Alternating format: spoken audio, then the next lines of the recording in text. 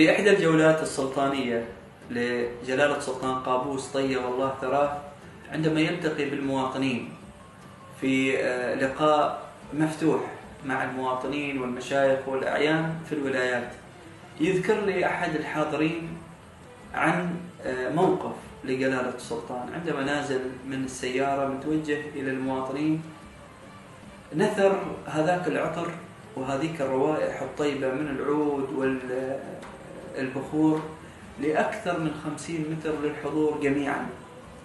فيقول سبحان الله يعني من يوم وصل إلين راح طيب الله ترى في في من هذاك الموقع ريحة المكان كلها عود. فيدل يقول انبهرنا يعني لدرجة إن انبهرنا إيش هذا الريحة الجميلة اللي كان حاطنها آه، جلالة السلطان.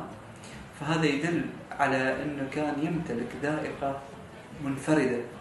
في العطور في العود. رجل محب جدا بهذا العطريات وأن يمتلك نوادر العود ونوادر العطور. نسأل الله له الرحمة ونسأل الله أن يعطره بروائح الجنة وأن يسكن الفردوس الأعلى مع الصديقين والشهداء والأنبياء.